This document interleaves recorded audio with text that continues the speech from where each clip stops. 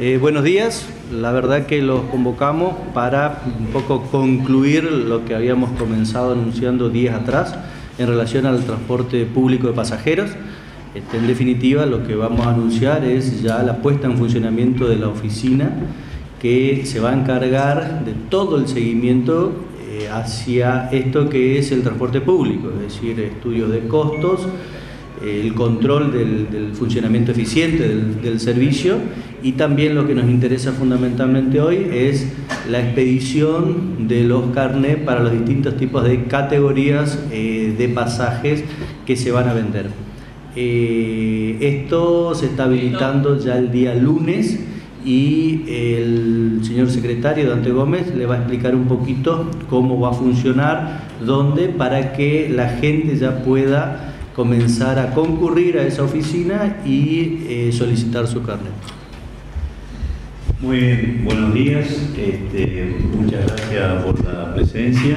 Como bien lo decía el secretario de Gobierno, este próximo lunes eh, vamos a dar comienzo a la atención al público con respecto a los distintos carnets que hacen al uso del servicio del transporte público.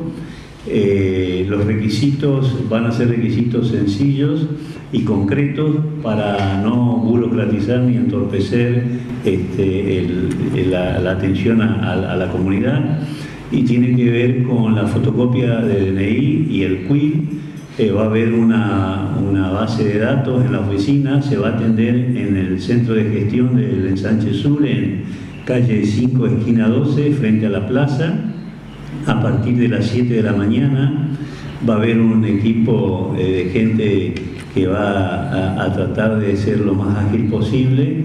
Eh, vamos a pedir paciencia a todos aquellos que gestionen, va a ser por esta vez y después ya van a poder hacer uso, pero va a ayudar a, una mejor, incluso mejor uso y más ágil en cuanto a adquirir el boleto para el transporte urbano de pasajeros. Eh, me parece importante aclarar que en estos días, y de acuerdo a lo que habíamos dicho cuando anunciamos la nueva forma y cuando pusimos de acuerdo con los empresarios por el precio del boleto, que mientras tanto el boleto social está vigente con la modalidad que venía eh, anteriormente y estamos cumpliendo con el plazo que habíamos acordado con la empresa para poner en marcha esta oficina de atención al usuario. Entonces aquí se van a poder no solo este, eh, hacer los carnets, que va a tener la misma modalidad del carnet de conductor, sino que también vamos a recibir cualquier inquietud que tengan los usuarios, se va a hacer un seguimiento, un estudio de costos para el futuro, para evitar situaciones de apremio ante cualquier este, presentación que haya por parte de los empresarios. Y bueno, obviamente vamos a estar a disposición para aclarar cualquier duda que surja. ¿Cuáles eh, la, gente, digamos, pedir pero eh, jubilados. En las distintas categorías, o sea, está bien la pregunta, eh, en el caso del boleto social, ¿no es cierto?, el DNI y el QUIL, en el caso de los jubilados y la constancia del ANSES, eh, que en caso, bueno, si no la llevan, obviamente vamos a solucionar, no queda lejos el ANSES. Eh, en el caso de los jubilados, la acreditación de jubilado, que puede ser recibo de sueldo, el carnet de jubilado que se encuentra vigente, y en el caso de escolar, la constancia de escolar. Eh, por eso decíamos concreto, porque bueno, la idea no es complicar, sino tratar de dar celeridad y de empezar a ordenar esto, que es un tema sensible para todos. Eh, ha sido un logro que bueno, hayamos podido estar de acuerdo con la empresa en que el aumento no tenga un alto impacto hemos cuidado el boleto social y bueno, y seguimos trabajando con un criterio que lo ha marcado el intendente, que es con la mirada y el cuidado hacia la comunidad, pero sin dejar de escuchar a todos los sectores que integran esta ciudad.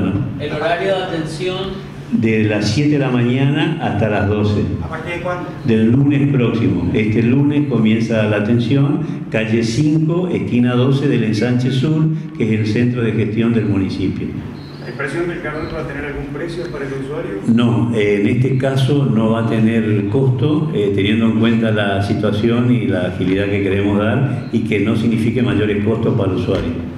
¿Y la empresa aporta algo para la impresión Eh, la empresa lo va a aportar, es algo que este, nosotros vamos a presentar de acuerdo a la cantidad de carnet que se hagan y, y si de esa manera después este, vamos a hacer el convenio. ¿Qué pasa con esta oficina respecto a los demás transportes públicos de la ciudad, teniendo en cuenta que también existen remises, ¿no es cierto? Sí, bueno, es un tema muy delicado, el tema de los remises. Este, se viene trabajando para, para buscar la, la, solución y bueno, será tarea de esta oficina también avanzar en eso, pero la verdad que es un tema eh, muy complejo.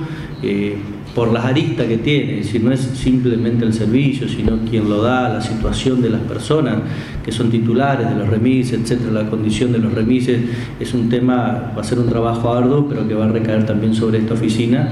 Y bueno, se busca de esta manera que una oficina en especial, con lo que significa de afectar cierta eh, personal capacitado, en este caso son profesionales, contadores, para que de alguna manera y tratando de buscar mayor eficiencia dentro del Estado, bueno, dar una solución a un tema también tan complejo como el de los remises. Javier, se estudia también unificar el precio de las tarifas de los remises porque cada empresa cobra lo que quiere, aumenta cuando le parece y además en una misma empresa entre un auto y otro muchas veces te cobran una diferencia bastante importante. Y por otro lado, ¿qué se va a hacer con el servicio de revisas de la terminal que aparte de ser eficiente, los precios que le cobran sobre todo a la gente que viene de otras localidades son realmente escandalosos?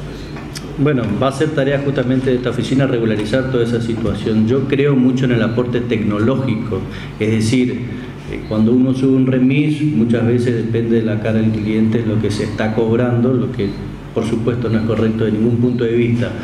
Pero eh, yo creo que la tecnología puede venir a solucionar eso y crear un sistema que no, sea, que no se pueda adulterar y darle transparencia a la persona que utiliza el servicio en cuanto al costo. Yo creo que, reitero, va a ser tarea de esta oficina regularizar toda esa situación. Eso es, va a ser un trabajo que va a llevar mucho tiempo, pero que en definitiva lo vamos a, a regularizar. Lo mismo para la situación en la terminal, que es algo que eso sí se va a tratar inmediatamente porque tiene que ver con las reformas que continúan en la terminal y puntualmente la ubicación de los revisos.